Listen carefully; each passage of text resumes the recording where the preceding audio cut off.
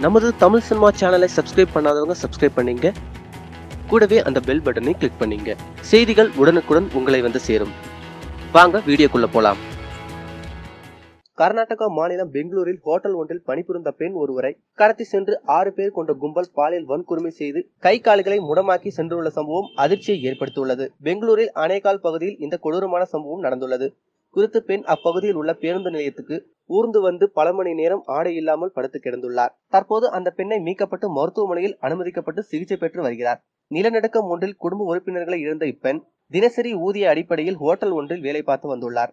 இந்த நிலையில் இவரது குடியிருப்பின் அருகாமையில் உள்ள புதார் மண்டி பகுதியில் ஆறு பேர் கொண்ட கும்பல் இரவு முழுக்க பலாத்காரம் செய்யப்பட்டுள்ளனர்.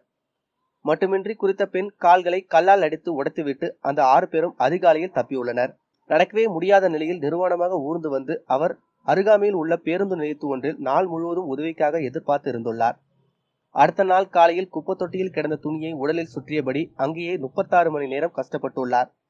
இந்த நிலையில் சமூக ஆழ்வாளர் ஒருவர் இவரை மீட்டு மருத்துவமனையில் சேர்த்துள்ளார். மட்டுமின்றி தனக்கு நேர்ந்த கொடுமைகளை அனைத்தையும் போலீசாருக்கு புகாராக அளித்துள்ளார். மேலும் இது போல செய்திகளுக்கு லைக் மட்டும் சப்ஸ்கிரைப் செய்யவும்.